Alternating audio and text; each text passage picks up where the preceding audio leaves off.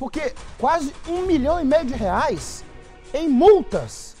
Que isso? Foram aplicados por meio de uma ação integrada do IBAMA. Ah, é do IBAMA. É multa pesada mesmo. Instituto Brasileiro do Meio Ambiente e Recursos é, Naturais Renováveis, né?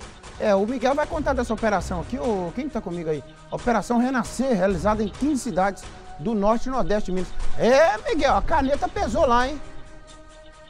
Pois é, Nicomedes, olha só, esta operação fiscalizou descumprimento de embargos em áreas degradadas da Mata Atlântica. Ainda de acordo com as informações, foram quase 2 hectares de mata embargados e o valor das multas totalizam, o valor da multa, perdão, totalizam 33 autos de infração.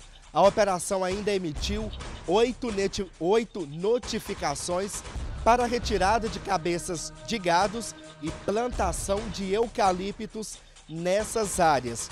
O embargo né, tem como função de viabilizar a recuperação das áreas degradadas e, neste caso, o IBAMA determina a apreensão e a destinação de bens e materiais que foram utilizados de forma ilegal nessa prática de crime. A Operação Renascer contou com cinco equipes de campo e nessa operação também foram utilizados drones para sobrevoar a área degradada. No total foram 15 cidades, Nico. É, considerando.